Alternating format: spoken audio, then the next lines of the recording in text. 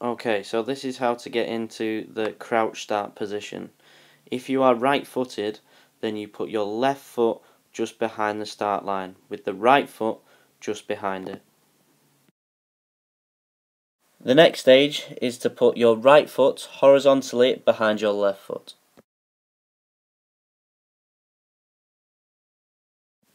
Now place your left foot behind your right horizontal foot.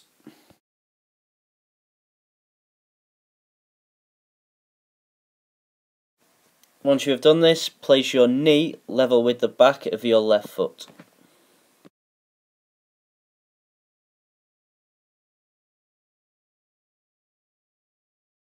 Once you have put your knee level with the back of your left foot, you can make a bridge just behind the start line with your index finger and your thumb. This is what we call the on the marks position.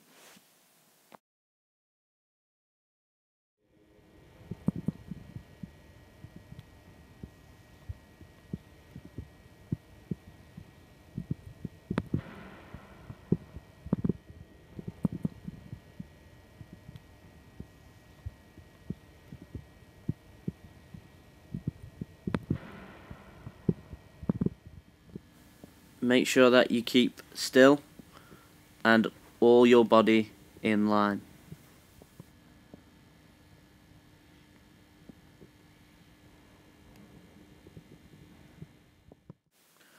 Once the official shouts set, then your shoulders should be leaning forward. You should raise your hips. Your front legs should be at 90 degrees and keep absolutely still.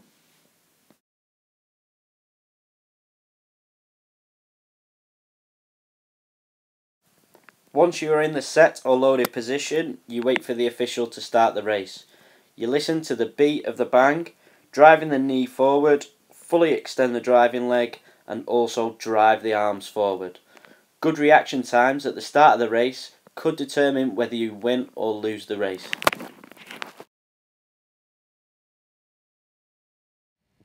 Set. Go. Set. Go. Set. Go. Set. Go. Set. Go.